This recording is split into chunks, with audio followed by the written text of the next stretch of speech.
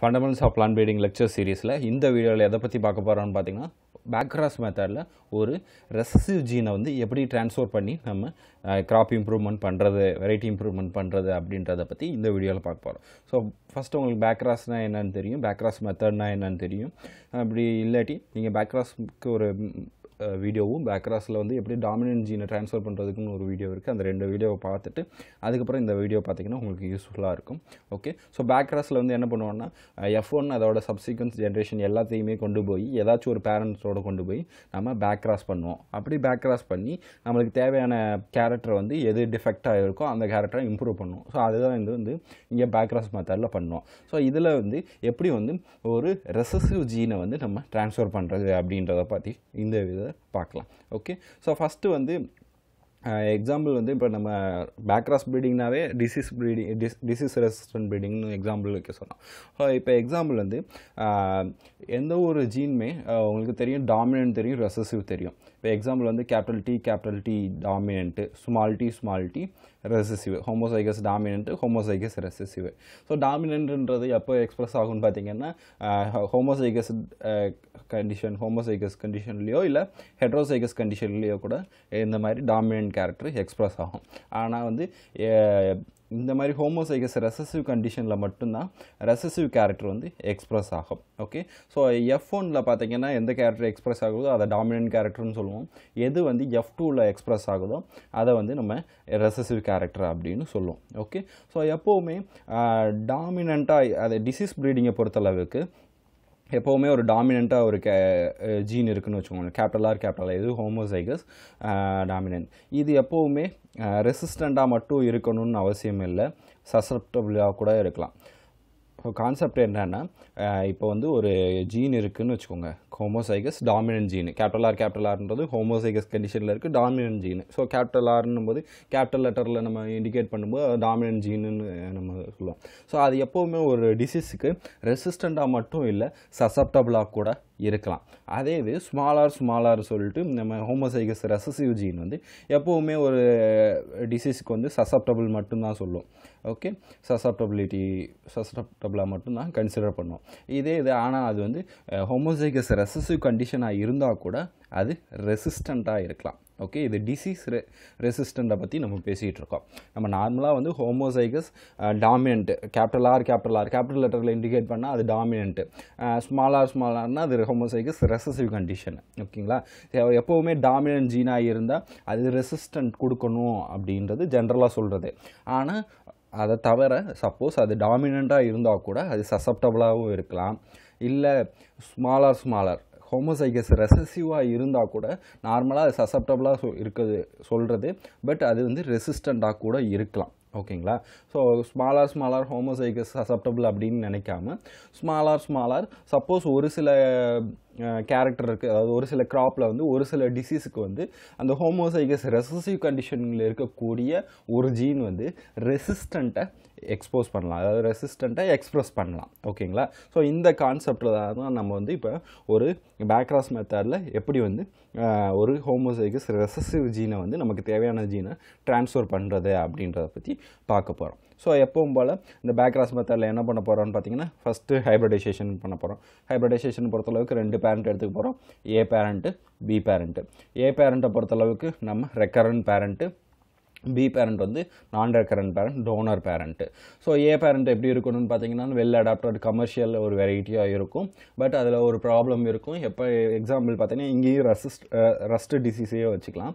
So இங்கே வந்து என்ன இருக்குன்னா ரஸ்ட்டுக்கு சசப்டபிலிட்டி இருக்குது ஓகே இதே இது டாமினன்ட் இதை பொறுத்தளவுக்கு கேபிட்டல் ஆர் கேபிட்டல் ஆர்னு இண்டிகேட் பண்ணால் அது ரஸ்ட்டுக்கு ரெசிஸ்டண்ட்டு பட் வந்து இங்கே வந்து ரஸ்ட்டுக்கு சசப்டபுள் ஓகேங்களா இது டோனர் பேரண்ட்டில் வந்து ஸ்மாலார் ஸ்மாலார் இருக்குது இதுதான் வந்து ரஸ்ட்டுக்கு ரெசிஸ்டண்ட்டை ப்ரொடியூஸ் பண்ணக்கூடிய ஜீன் ஸோ இங்கே கான்செப்ட் என்னன்னு பார்த்தீங்கன்னா ஹோமோசைகஸ் ரெசிஸ்டிவ் கண்டிஷன் இருந்துச்சுன்னா அது ரெசிஸ்டண்ட்டாக ப்ரொடியூஸ் பண்ணும். இதே இது ஹோமோசைகஸ் டாமினன்ட் இருந்தால் அது சசப்டபுளாக இருக்கும். ஓகேங்களா? ஸோ இப்போ நம்ம வந்து நமக்கு தேவையான மாதிரி ஏ பேரண்ட் வந்து நம்மளுக்கு கமர்ஷியலி நல்ல பேரண்ட்டாக இருக்குது அதில் வந்து ஒரு ப்ராப்ளம் இருக்குது என்ன? ரஸ்ட்டுக்கு சசப்டபுளாக இருக்குது அதனால் நம்ம என்ன பண்ண போகிறோம் இந்த small r small r homozygous recessive ஜீனை வந்து நம்ம ரஸ்ட்டுக்கு ரெசிஸ்டண்ட்டாக இருக்க ஜீனை கொண்டு வந்து நம்ம இதில் ட்ரான்ஸ்ஃபர் பண்ண போகிறோம் இதுதான் இப்போ கான்செப்ட் ஸோ ஃபஸ்ட்டு என்ன பண்ண போகிறோம் ஹைப்ரிடைசேஷன் பண்ண போகிறோம் ஹைப்ரிடைசேஷனை பொறுத்தளவுக்கு the recurrent parent is crossed with rust resistant donor parent so recurrent parent A parent donor parent B parent இதை கிராஸ் பண்ணுறோம் okay the recurrent parent use generally used as female parent எப்பவும் போல் recurrent பேரண்ட்டை female பேரண்ட்டாக use பண்ணுறோம் so ஏவும் பியும் cross பண்ணும்போது நம்மளுக்கு எஃப் ஒன் கிடைக்குது. எஃப் ஒன் வந்து நம்மளுக்கு என்ன கிடைக்குன்னு பார்த்தீங்கன்னா எஃப் ஒன் வந்து கேபிட்டல் ஆர் ஸ்மால் ஆர் கிடைக்கும். ஸோ இப்போ கேபிட்டல் ஆர் ஸ்மால் ஆர்னும் போது இப்போது இந்த எஃப் ஒன் நமக்கு என்ன கிடைக்குது? கேபிட்டல் ஆர் ஸ்மால் ஆர்னு கிடைக்குது. F one generation F one back or backcross the the recurrent parent இதை அதுக்கப்புறம் என்ன பண்ண போகிறோம் ரெக்கரண்ட் பேரண்ட்டோட நம்ம கிராஸ் பண்ண போகிறோம் இதே இது ஒரு டாமினன்ட் ஜீன் ட்ரான்ஸ்ஃபர் அப்போ போது இங்கே என்ன பண்ணுவோம்னா எப்போவுமே வந்து இந்த டிசீஸ் ரெசிஸ்டன்ட் ப்ரீடிங் போகும்போது ஒவ்வொரு டைமும் நம்ம கிராஸ் பண்ணிட்டு என்ன பண்ணுவோம்? ஸ்க்ரீனிங் பண்ணுவோம். ஸ்க்ரீனிங் எதுக்காக பண்ணுவோம் நம்ம எந்த டிசீஸ்க்கு எந்த வந்து ஒரு பெஸ்ட் அட்டாக்குக்கோ வந்து நம்ம வெரைட்டி இம்ப்ரூவ் பண்ணுறோமா அதுக்கு நம்ம என்ன பண்ணுவோம்? ஒவ்வொரு ஸ்டேஜ் கிராசிங் அப்போ ஒவ்வொரு generation F one F two backcross one backcross two அப்படின்னு சொல்லிட்டு ஒவ்வொரு ஸ்டேஜ் அப்போ நம்ம என்ன பண்ணுவோம்? க- இது என்ன பண்ணுவோம்? எவாலுவேஷன் போவோம். இதே டாமினன்ட் ஜீன் ட்ரான்ஸ்ஃபராக இருந்துச்சுன்னா இந்த எஃப் ஒனில் நம்ம எவாலுவேட் பண்ண மாட்டோம். ஏன் அப்படின்னு பார்த்தீங்கன்னா இதில் டாமினன்ட் ஜீனாக இருந்தால் இது ரெசிஸ்டண்ட்டாக இருக்கும். பட் வந்து இங்கே நம்ம எவாலுவேஷன் பண்ண முடியுமா அப்படின்னு பார்த்தீங்கன்னா இங்கேயும் எவாலுவேஷன் பண்ண முடியாது. ஏன் அப்படின்னு பார்த்தீங்கன்னா டாமினன்ட் ஜீனாக இருந்தாலும் சரி அதாவது ஹோமோசைகஸ் டாமினண்ட்டாக இருந்தாலும் சரி இந்த மாதிரி எஃப் ஒனில் ஹெட்ரோசைகஸ் கண்டிஷனில் இருந்தாலும் இது என்ன தான் பார்த்தீங்கன்னா சசப்டபிலிட்டியை தான் எக்ஸ்பிரஸ் பண்ணும். என்ன கண்டிஷனில் மட்டும்தான் ரெசிஸ்டண்ட்டை எக்ஸ்பிரஸ் பண்ணணும்னு பார்த்தீங்கன்னா ஹோமோசைகஸ் ரெசசிவாக இருந்தால் மட்டும்தான் ரெசிஸ்டண்ட்டை எக்ஸ்பிரஸ் பண்ணும். ஸோ அப்போ இங்கே எஃப் ஒனில் நமக்கு ஸ்க்ரீனிங் வேணுமா ரஸ்ட் டிசீஸ்க்கு அப்படின்னு பார்த்தீங்கன்னா ஸ்க்ரீனிங் நமக்கு தேவையில்லை. இதை கொண்டு போய் என்ன பண்ணுறோம்னா பேக் கிராஸ் பண்ணுறோம் என்ன பண்ணுறோம் பேக் கிராஸ் ஒன் பண்ணுறோம் பேக் கிராஸ் ஒன்று என்ன பண்ணுறோம் எஃப் ஒன் வந்து கேபிட்டல் ஆர் ஸ்மாலாக இருக்குது அதை கொண்டு போய் ஏ பேரண்ட்டோட கேபிட்டல் ஆர் கேபிட்டல் ஆரோட நம்ம பேக் கிராஸ் பண்ணுறோம் ஸோ அது என்னது? பேக் கிராஸும் ஒன் எஃப் ஒன்று நம்மளுக்கு கிடைக்கும். ஸோ என்ன மாதிரி back cross one F one plants எல்லாம் கிடைக்கும்னு பார்த்தீங்கன்னா எஃப் ஒன் என்னன்னு பார்த்தோம்? Capital R small r parent A வந்து என்னது? கேபிட்டல் ஆர் கேபிட்டல் ஆர் அப்போ செக்கர் போர்டு போடும்போது நம்மளுக்கு என்னென்ன பிளான்ஸ் எல்லாம் கிடைக்கும்னு பார்த்தீங்கன்னா கேபிட்டல் ஆர் கேபிட்டல் ஆர் கிடைக்கும். கேபிட்டல் ஆர் ஸ்மால் ஆர் கிடைக்கும். Capital R capital R capital R small r சொல்லிட்டு fifty percentage capital R capital ஆரும் fifty percentage capital R small ஆரும் கிடைக்கும். ஸோ இது வந்து என்னது? பேக்ராஸ் ஒன் எஃப் ஒன் ஜென்ரேஷனில் நமக்கு கிடைக்கும். Since rust resistant is recessive all the pale plants will be rust susceptible so நம்ம முதலே சொன்ன மாதிரி ஹோமோசைகஸ் ரெசசிவ் இருந்தால் தான் அது ரஸ்ட்டுக்கு ரெசிஸ்டண்ட்டாக இருக்கும். ஓகேங்களா பட் நம்மளுக்கு இங்கே கிடச்சிக்கக்கூடிய பிளான்ட் அதாவது பேக்ராஸ் ஒன் எஃப் ஒனில் கிடச்சிக்கக்கூடிய பிளான்ட்டு ஒன்று ஹோமோசைகஸ் டாமினண்ட்டாக இருக்குது இல்லை ஹெட்ரோசைகஸ் கண்டிஷனில் இருக்குது ஸோ இந்த பிளான்ட் எல்லாமே என்னவாக தான் இருக்கும்னு பார்த்தீங்கன்னா சசப்டபுளாக தான் இருக்கும். எல்லாமே என்னவாக இருக்கும்?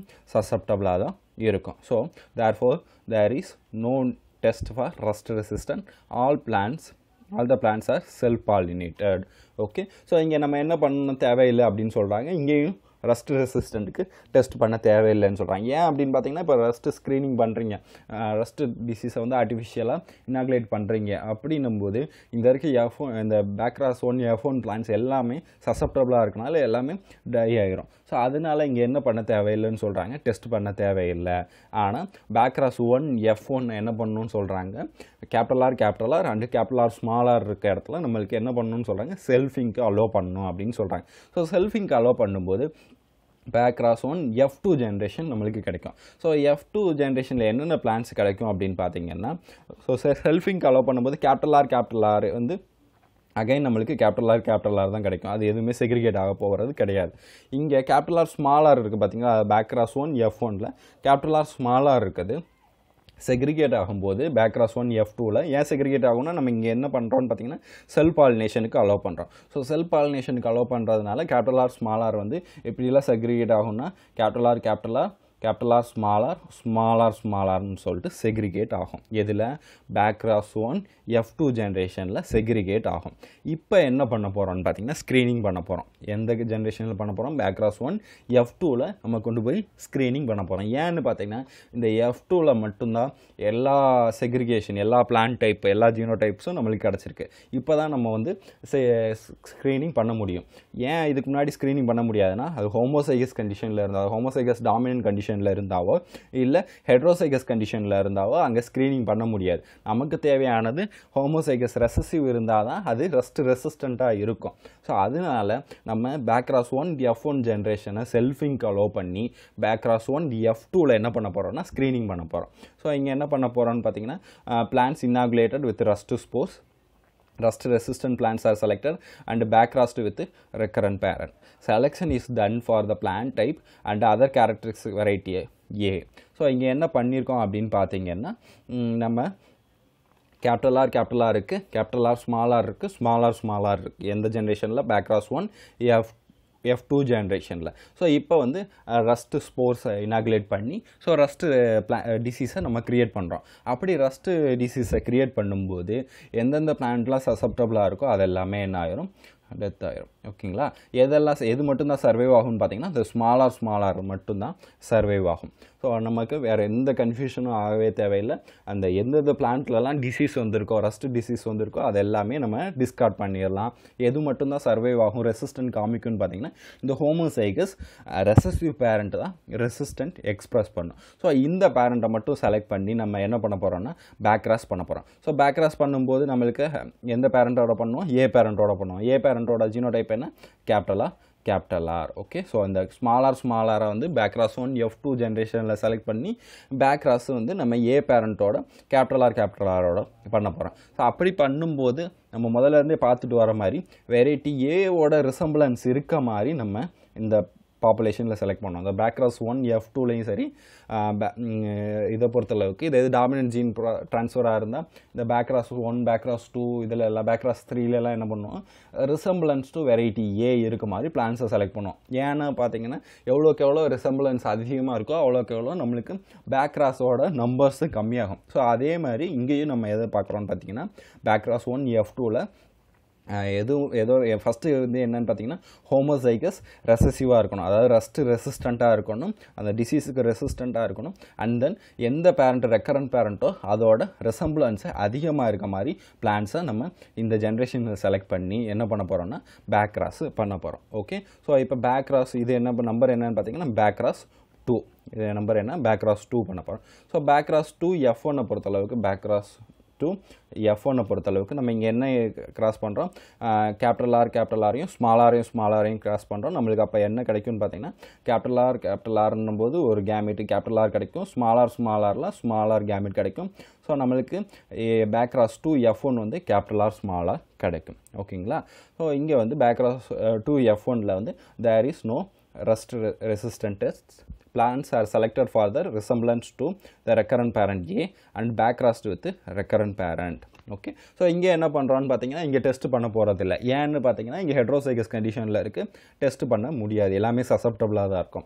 ஸோ இங்கே என்ன பண்ணுறோன்னா பேக்ராஸ் டூ எஃப் ஒனில் வந்து ஏ பேரண்ட் மாதிரி ரெக்கரண்ட் பேரண்ட் மாதிரி ரெசம்பிளன்ஸ் இருக்க மாதிரி பிளான்ட்டை செலக்ட் பண்ணி அது மட்டும் இல்லாமல் நம்ம என்ன பண்ணுறோன்னு பார்த்தீங்கன்னா அகைன் இதை கொண்டு போய் பேக் கிராசிங் பண்ணுறோம் பேக் கிராசிங் எதோட பண்ணுறோன்னு பார்த்தீங்கன்னா சாரி பேக் கிராசிங் எதோட பண்ணுறோம் பேரண்ட்டு ஏவோட பண்ணுறோம் அதாவது கேபிட்டல் ஆர் கேபிட்டல் ஆரோட பேக் கிராசிங் பண்ணுறோம் அப்படி பண்ணால் அப்போ பேக் கிராஸ் எத்தனாவது நம்பர்னு பார்த்தீங்கன்னா பேக் கிராஸ் த்ரீ பண்ணுறோம் ஓகேங்களா so back cross three F one generation back cross three F one generation so இங்கே வந்து கேபிட்டல் ஆர் ஸ்மால் ஆரையும் ஓகே பேக்ராஸ் டூவில் நம்ம பேக்ராஸ் டூ எஃப் ஒனில் நம்மளுக்கு என்ன கிடச்சிச்சு? கேபிட்டல் ஆர் ஸ்மால் ஆர் கிடச்சிச்சு. ஸோ அதை வந்து என்ன பண்ணுறோம் பேங்க் பேக்ராஸ் பண்ணுறோம் கேபிட்டல் ஆர் கேபிட்டல் ஆரோட அப்படி பண்ணும்போது நம்மளுக்கு அகைன் என்ன கிடைக்கும்? Capital R small R okay நம்மளுக்கு என்ன கிடைக்கும்? கேபிட்டல் ஆர் கேபிட்டல் ஆரோட ரெக்கரண்ட் பேரண்ட்டோட பேக் கிராசிங் பண்ணுறோம் இப்போ capital R capital R capital R small r capital R capital R capital R small r fifty percentage homozygous டாமினண்ட்டும் ஃபிஃப்டி பர்சன்டேஜ் ஹெட்ரோசைகஸ் கண்டிஷனும் கிடைக்கும். இங்கேயும் நம்ம என்ன பண்ண போகிறது இல்லைன்னு பார்த்தீங்கன்னா ஸ்க்ரீனிங் நம்ம பண்ண போகிறது இல்லை. ஏன்னா நம்மளுக்கு ஹோமோசைகஸ் டாமினன்ட் ஜீன் இருக்குது அண்ட் தென் ஹெட்ரோசைகஸ் ஜீன் இருக்குது நமக்கு தேவையானது என்ன? ஹோமோசைகஸ் ரெசசிவ் ஜீன் இருந்தால் தான் அங்கே டெஸ்டிங் பண்ணும். So backcross backcross three F one generation என்ன பண்ணுறோம் there is no disease test the plants are cell pollinated to raise F2. Selection is usually done for the plant type variety A so நம்ம முதல்லேருந்தே பார்த்துட்டு இருக்க மாதிரி இங்கே என்ன பண்ணுறோம் எந்த பிளான்ட்லாம் வெரைட்டியோ ஏவோட ரிசம்பிளன்ஸ் இருக்க மாதிரியே நம்ம செலக்ட் பண்ணிகிட்டே வரோம் ஸோ இங்கே பேக்ராஸ் த்ரீ எஃப் ஒனில் வந்து நம்ம என்ன பண்ண போகிறதில்ல அஹ், எந்த ஒரு செலெக்ஷனும் நம்ம டிசீஸ் ரெசிஸ்டண்ட் டெஸ்ட்டும் நம்ம பண்ண போகிறதில்ல நம்ம என்ன பண்ணுறோம் இந்த பிளான்ஸ் எல்லாத்தையும் செல் பாலினேஷனுக்கு அலோவ் பண்ணுறோம் ஸோ செல் பாலினேஷனுக்கு அலோவ் பண்ணும்போது இந்த பேக்ராஸ் த்ரீ எஃப் டூ கிடைக்கும் backcross three F two generation கிடைக்கும். அப்படி பார்க்கும்போது நம்மளுக்கு இங்கே வந்து கேபிட்டல் ஆர் கேபிட்டல் ஆர்லேருந்து எந்த செக்ரிகேஷனும் ஆக போகிறதில்ல ஸோ அதே தான் நம்மளுக்கு என்ன கிடைக்கும்? பேக்ராஸ் த்ரீ எஃப் டூவில் வந்து capital R capital R again கிடைக்கும்.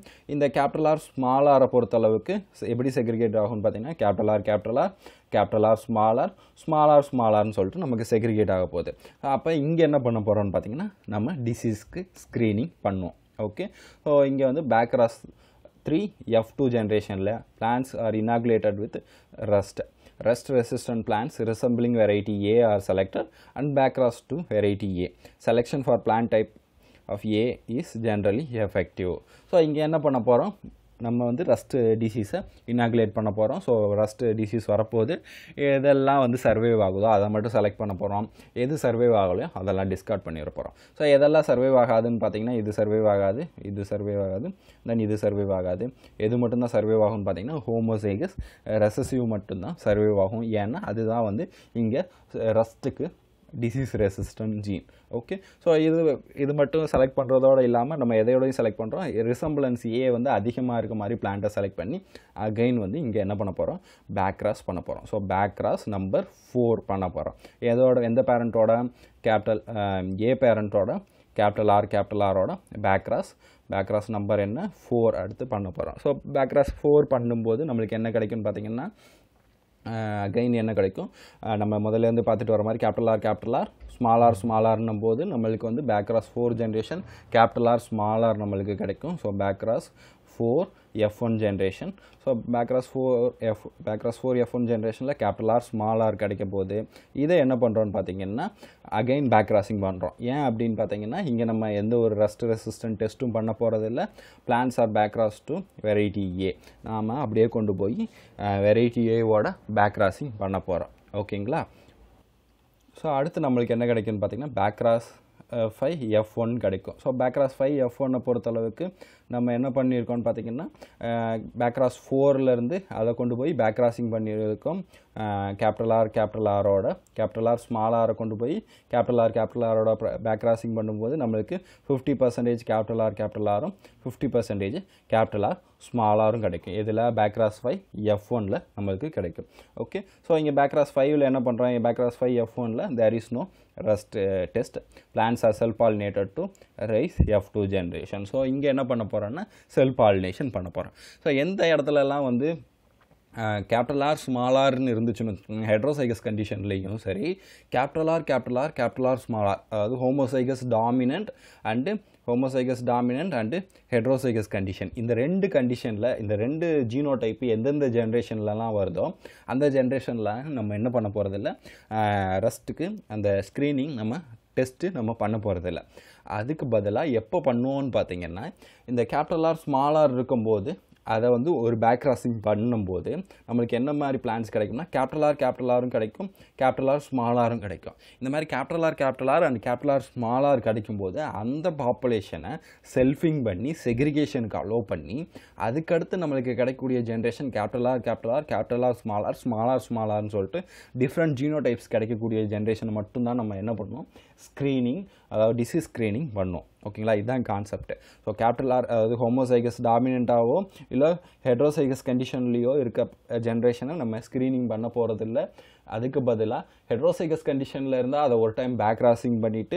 அதுலேருந்து நம்மளுக்கு வந்து ஹோமோசைகஸ் டாமினன்ட் அண்ட் ஹெட்ரோசைகஸ் கண்டிஷனில் நம்மளுக்கு பிளான்ஸ் கிடைக்கும். அதை வந்து செல்ஃபிங் அலோவ் பண்ணி செக்ரிகேஷனுக்கு அலோவ் பண்ணி அதுக்கப்புறம் கிடைக்கக்கூடிய different genotypes capital R capital R capital R small R small R small R சொல்லிட்டு இந்த மாதிரி டிஃப்ரெண்ட் ஜீனோடைப்ஸ் கிடைக்கும் போது எப்போ வந்து நம்மளுக்கு ஹோமோசைகஸ் ரெசசிவ் கண்டிஷனில் இருக்க ஜீனோடைப் கிடைக்குதோ அப்போ தான் வந்து நம்ம ஸ்க்ரீனிங் பண்ணுவோம். ஸோ இங்கே பேக்ராஸ் ஃபைவ் எஃப் ஒனில் என்ன பண்ண போகிறோன்னு பார்த்தீங்கன்னா செல்ஃபிங்க்கு அலோவ் பண்ண போகிறோம் செல்ஃபிங்க்கு அலோவ் பண்ணும்போது பேக்ராஸ் ஃபைவ் எஃப் டூவில் நம்மளுக்கு என்ன மாதிரி பிளான்ஸ் எல்லாம் கிடைக்கும்னு பார்த்தீங்கன்னா கேபிட்டல் ஆர் கேபிட்டல் ஆர் கிடைக்கும். கேபிட்டல் ஆர் ஸ்மால் ஆர் கிடைக்கும். ஸ்மால் ஆர் ஸ்மால் ஆர் கிடைக்கும். ஸோ இதில் வந்து என்ன பண்ணுறோன்னா plants are subject to rust epidemic rigid selection is done for rust resistant and for characters of variety A. Self seed from uh, self seeds from the selected plants har harvested separately so இங்கே என்ன பண்ண போகிறோம் நம்ம screening பண்ண போகிறோம் disease screening பண்ண போகிறோம் அப்படி ஸ்க்ரீனிங் பண்ணும்போது எதெல்லாம் சர்வைவ் ஆகாதுன்னு பார்த்தீங்கன்னா இது சர்வைவ் ஆகாது. இந்த ஜீனோ டைப்பு ரெண்டும் சர்வைவ் ஆகாது. எது மட்டும்தான் சர்வை ஆகும்? கேபிட்டலாக சாரி ஸ்மாலாக ஸ்மாலார் மட்டும்தான் சர்வைவ் ஆகும். ஸோ அகைன் வந்து எதெல்லாம் இது எனக்கு நம்ம வந்து ரஸ்ட் ரெசிஸ்டன்ட் இருக்க மாதிரி செலக்ட் பண்ணிவிட்டு அதுக்கப்புறம் வெரைட்டி ஏவோட எதெல்லாம் ரொம்ப எந்த பிளான்ஸ் எல்லாம் வெரைட்டி ஏவோட மேக்ஸிமம் ரெசம்பிளன்ஸ் இருக்கோ அந்த பிளான்ட்டை மட்டும் நல்லா செலக்ட் பண்ணி அதை வந்து செப்பரேட்டாக ஹார்வெஸ்ட் பண்ணி செல்ஃபிங் பண்ணி செப்பரேட்டாக ஹார்வெஸ்ட் பண்ணுறோம் ஸோ இங்கே வந்து பேக்ராஸ் ஃபைவ் எஃப் டூ ஜென்ரேஷனில் டிசீஸ் ரெசிஸ்டண்ட் இருக்க மாதிரி அதை ரெஸ்ட் ரெசிஸ்டண்ட் இருக்க மாதிரி ப்ளஸ் வெரைட்டி ஏவோட அதிகமாக ரெசம்பிளன்ஸ் ஐடென்டிட்டி இருக்க மாதிரி பிளான்ட்டை செலக்ட் பண்ணி அதை வந்து செல்ஃபிங் பண்ணி சீட்ஸை செப்பரேட்டாக ஹார்வெஸ்ட் பண்ணுறோம் ஓகேங்களா ஹார்வெஸ்ட் பண்ணி backcross five F three generation raise பண்ணுறோம் ஸோ பேக்ராஸ் ஃபைவ் போகும்போது கிட்டத்தட்ட எயிட்டி டு நைன்ட்டி பர்சன்டேஜ் வந்து ஹோமோசைகசிட்டியை ரீச் ஆகும். ஸோ அதனால் நம்ம வந்து அதை ஒரு வெரைட்டியாக release பண்ணலான்றதுக்காக backcross five F three generation போகிறோம் so F backcross five F two ஜென்ரேஷனில் சிங்கிள் பிளான் பேசிஸில் ஹார்வெஸ்ட் பண்ணியிருக்கோம் அதாவது பிளான்ஸை வந்து செலக்ட் பண்ணி செப்பரேட்டாக ஹார்வெஸ்ட் பண்ணியிருக்கோம் பார்த்தீங்களா அதனால individual plant progenies are grown and subjected to rust epiphytotic. Uh, rigid selection is done for rust resistant, uh, resistant to stem rust and for characteristics of variety A. Seeds from several similar rust resistant homogeneous progenies are mixed to constitute a new variety so இங்கே என்ன பண்ணுறோன்னு பார்த்தீங்கன்னா backcross five F டூவில் individual plant பேசிஸில் harvest பண்ணதை individual plant ப்ராஜெனிஸில் வந்து நம்ம க்ரோ க்ரோ பண்ணி அதை வந்து ரஸ்ட்டு டிசீஸை இனாகுலேட் பண்ணி நம்ம ஸ்க்ரீனிங் பண்ணுறோம் ஸ்க்ரீனிங் பண்ணிவிட்டு இதிலேருந்து நம்ம பெஸ்ட்டாக இருக்கதை அதில் ரெசி ஃபுல்லாக ரெசிஸ்டன்ட் கொடுக்கக்கூடிய plant and then variety A மாதிரி ஐடென்டிக்கலாக இருக்க பிளான்ட்ஸ் எல்லாத்தையுமே செலக்ட் பண்ணி அந்த பாப்புலேஷனை ஹோமோஜினஸ் பாப்புலேஷனை க்ரியேட் பண்ணி அதை மிக்ஸ் பண்ணி ஒரு வெரைட்டி கடைசியாக ரிலீஸ் பண்ண போகிறோம் ஸோ ரிலீஸ் பண்ணும்போது லாஸ்ட்டாக பார்த்தீங்கன்னா yield test it is the same as the in case of transfer of dominant so மற்ற ஈல்டு டெஸ்ட் எல்லாம் பண்ணணும்னா பண்ணிக்கலாம். இல்லாட்டி தேவையில்லை. ஏன் அப்படின்னு பார்த்தீங்கன்னா ஏற்கனவே வந்து நம்ம ரிலீஸ் பண்ண வெரைட்டியில் தான் நம்ம என்ன பண்ண போகிறோம் கேரக்டர் இம்ப்ரூவ்மெண்ட் பண்ண போகிறோம் ஸோ ஏற்கனவே ரிலீஸ் பண்ண வெரைட்டினா எல்லா ஈல்டு ட்ரையல்ஸும் போயிருக்கோம். அதனால் நம்ம அந்த ஈல்டு ட்ரையல்ஸ்லாம் போக தேவையில்லை. அப்படி இல்லை பே பேக்ராஸ் மூலிமா புதுசாக வெரைட்டி ரிலீஸ் பண்ணுறோம் அப்படின்னு பார்த்தீங்கன்னா அப்போ என்ன பண்ணணும் பார்த்தீங்கன்னா எல்லா ஈல்டு டெஸ்ட்டும் preliminary yield trial multi location yield trial adaptive research trial இந்த மாதிரி எல்லா ட்ரையல்ஸும் போயிட்டு கோஆர்டினேட்டர் ட்ரையல்ஸ் எல்லாம் போயிட்டு அப்புறம் வந்து அதில் எல்லாத்துலேயுமே நல்லா பர்ஃபார்ம் பண்ணால் வெரைட்டியாக ரிலீஸ் பண்ண போகிறோம் ஓகே ஸோ ஒரு டயக்ராம் பார்த்தீங்கன்னா உங்களுக்கு ஈஸியாக புரியும். ரெக்கரண்ட் பேரண்ட்டு நான் ரெக்கரண்ட் பேரண்ட்டு இங்கே நான் ரெக்கரண்ட் பேரண்ட்டை பொறுத்தளவுக்கு small R small R recurrent parent வந்து capital R so recurrent parent வந்து ஹை ஈல்டிங் கொடுக்கக்கூடிய ஒரு நல்ல வெரைட்டின்னு வச்சுக்கோங்க. நான் ரெக்கரண்ட் பேரண்ட்டும் நமக்கு தேவையான டோனர் பேரண்ட்டு ஸோ நமக்கு எஃப் ஒன் என்ன கிடைக்கும்? கேபிட்டலார் ஆர் கிடைக்கும். அதை கொண்டு போய் நம்ம recurrent parent capital R R cross பண்ணுறோம் பேக் கிராஸ் ஒன் வந்து நம்மளுக்கு கேபிட்டலார் ஆர் கேபிட்டல் ஆர் கிடைக்குது. அதை கொண்டு போய் நம்ம இப்படி capital R capital R and capital R small R அது homozygous dominant and heterozygous condition இருக்கும்போது தான் நம்ம எதுக்கு அலோவ் பண்ணுவோம்னு பார்த்தீங்கன்னா செல்ஃபிங்க்கு அலோவ் பண்ணும் இப்போ back cross one F two நம்மளுக்கு செல் செல்ஃபிங் பண்ணி நம்மளுக்கு செக்ரியேஷன் ஆகி நம்மளுக்கு மூணு டைப் ஆஃப் ஜீனோ டைப்ஸ் கிடைக்கும். Capital R capital R capital R small R small R small R அதில் வந்து டிசீஸ் ரெசிஸ்டன்ட் டெஸ்ட் பண்ணி எது வந்து ஹோமோசைகஸ் ரெசசிவாக டிசீஸ் ரெசிஸ்டண்ட்டாக இருக்கோ அந்த பிளான்ட்டை செலக்ட் பண்ணி பேக்ராஸ் டூ போவோம். பேக்ராஸ் டூவில் ஹெட்ரோசைகஸ் கண்டிஷனில் கேபிட்டல் ஆர் ஸ்மால் ஆரில் நம்மளுக்கு பிளான்ட் கிடைக்கும். அதை வந்து திருப்பி பேக்ராஸ் பண்ணுவோம். அப்போ பேக்ராஸ் த்ரீயில் நம்மளுக்கு என்ன கிடைக்கும்னா ஹோமோசைகஸ் டாமினண்ட்டும் ஹெட்ரோசைகஸ் கிடைக்கும். Capital R capital R capital R small R கிடைக்கும். ஸோ இந்த மாதிரி ரெண்டுமே கிடைக்கும்போது நம்ம அதை செல்ஃபிங்க்கு அலோவ் பண்ணுவோம். Backcross three F two so இதில் ஃபர்தராக வந்து நம்ம ஸ்க்ரீனிங் பண்ணி எது ரெசிஸ்டண்ட்டாக ஹோமோசைகஸ் ரெசசிவாக இருக்கோ அதை மட்டும் செலக்ட் பண்ணி பேக்ராஸ் ஃபோர் பண்ணுவோம் அதுக்கப்புறம் பேக்ராஸ் ஃபைவ் பண்ணுவோம். பேக்ராஸ் ஃபைவுக்கு அப்புறம் நம்மளுக்கு capital R capital small R homozygous dominant and heterozygous கண்டிஷனில் பிளான்ட் கிடைக்கும். அதை வந்து செல்ஃபிங் காலோ பண்ணி செக்ரிகேஷன் ஆகி பேக்ராஸ் ஃபைவ் எஃப் டூவில் வந்து capital R capital R capital R small R நம்மளுக்கு கிடைக்கும். ஸோ இதில் டிசீஸ் ஸ்க்ரீனிங் பண்ணி ஸ்மால் ஆர் மட்டும் இண்டிவிஜுவல் பிளான்ட்டை வந்து நம்ம செலக்ட் பண்ணி ஹார்வெஸ்ட் பண்ணி இண்டிவிஜுவல் பிளான் ப்ராஜினிஸாக பேக்ராஸ் ஃபைவ் எஃப் த்ரீயில் ரேஸ் பண்ணி அது எல்லாமே ரஸ்ட் ரெசிஸ்டண்ட் இருக்க மாதிரி பிளான்ஸையும் அண்ட் தென் வெரைட்டி ஏக்கு வந்து ஐடென்டிக்கலாக இருக்க மாதிரி பிளான்ட்டையும் நம்ம செலக்ட் பண்ணி இருக்க பிளான்ஸ் எல்லாம் செலக்ட் பண்ணி ஒரு வெரைட்டி க்ரியேட் பண்ணி ஈல்டு டெஸ்ட் எல்லாம் போயிட்டு அதை வந்து சீடு மல்டிப்ளிகேஷன் பண்ணி அது ஒரு வெரைட்டியாக ரிலீஸ் பண்ணலாம். ஸோ இதுதான் வந்து ட்ரான்ஸ்ஃபர் ஆஃப் ரெசசிவ் ஜீன் பொறுத்தளவுக்கு ஸோ இதில் முக்கியமான விஷயம் நீங்கள் கவனிக்க வேண்டிய விஷயம் என்னென்னா எஃப் ஒன் வந்து கேபிட்டலாக ஸ்மாலாக இருக்கும். ஸோ ஹெட்ரோசைகஸ் கண்டிஷனில் இருக்கும். அங்கே வந்து டிசீஸ் ஸ்க்ரீனிங் நம்ம பண்ண தேவையில்லை. அதை பேக்ராஸ் பண்ணும்போது நம்மளுக்கு கிடைக்கக்கூடியது வந்து கேபிட்டலார் கேபிட்டலாக கேபிட்டலார் ஸ்மாலார்னு சொல்லிட்டு ஒரு பாப்புலேஷன் கிடைக்கும் போது மட்டும்தான் அதுலேயும் ஸ்க்ரீனிங் பண்ண தேவையில்லை. ஆனால் அதை வந்து செல்ஃபிங்க்கு அலோவ் பண்ணணும் ஓகேங்களா செல்ஃபிங்க்கு எப்போ அலோவ் பண்ணணுன்னா ஒரு பேக்ராஸ் ஒன் சாரி பேக்ராஸ் எந்த நம்பராக இருந்தாலும் சரி அதில் வந்து ஹோமோசைகஸ் டாமினன்ட் அண்ட் ஹெட்ரோசைகஸ் கண்டிஷனில் ஜீனோடைப் இருக்கும்போது அந்த ஹெட்ரோசைகஸ் கண்டிஷன் வந்து நம்மளுக்கு ஃபர்தராக செக்ரிகேஷன் ஆகுன்றதுக்காக நம்ம அந்த இடத்துல போயிட்டு செல்ஃபிங்க்கு அலோவ் பண்ணணும். ஸோ இங்கேயே செக்ரிகேஷன் ஆகும்ல. ஏன் இங்கே வந்து செக்ரிகேஷன் ஆகும்? ஆனாலுமே நம்ம எதுக்கு அலோவ் பண்ணலன்னு பார்த்தீங்கன்னா இதுக்கு செல்ஃபிங்க்கு அலோவ் பண்ணல அப்படின்னு பார்த்தீங்கன்னா இங்கே பொறுத்தளவுக்கு நம்ம ஒரு ஒரு பேக்ராஸ் தான் பண்ணியிருப்போம். இங்கே பொறுத்தளவுக்கு ஒரு ஒரு பேக்ராஸ் தான் பண்ணியிருப்பான். அந்த அதை கொண்டு போய் திருப்பி நம்ம வந்து செல்ஃபிங்க்கு அலோவ் பண்ணி செக்ரிகேஷன் ஆகுனா நம்மளுக்கு எக்ஸ்ட்ரா ஒரு சீசன் வந்து நம்மளுக்கு தேவைப்படும். அதுக்கப்புறம் வந்து நம்ம வந்து திருப்பி போய் பேக்ராசிங் பண்ணுவோம்.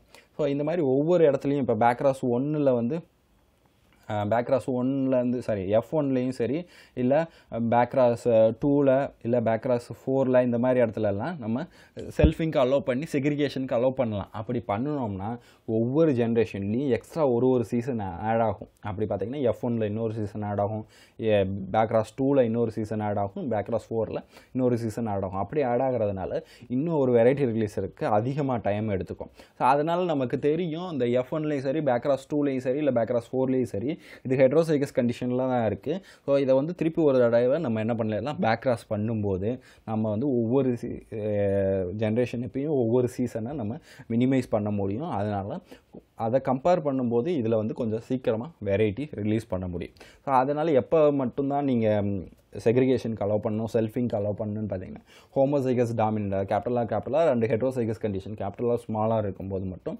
செக்ரிகேஷனுக்கு அலோவ் பண்ணி அதுக்கப்புறம் ஃபர்தர் ஜென்ரேஷன் ஃபார்வர்ட் பண்ணி நம்ம இதில் ரெசசிவ் ஜீனை ட்ரான்ஸ்ஃபர் பண்ணலாம். ஓகேவா ஸோ இதை தான் வந்து பேக்ராஸ் மெத்தடில் எப்படி வந்து ஒரு ரெசசிவ் ஜீனை ஹோமோசைகஸ் ரெசசிவ் ஜீனை வந்து ட்ரான்ஸ்ஃபர் பண்ணுறது அப்படின்றத பொறுத்தளவுக்கு ஓகே ஸோ நெக்ஸ்ட் வீடியோவில் பார்க்கலாம். தேங்க்யூ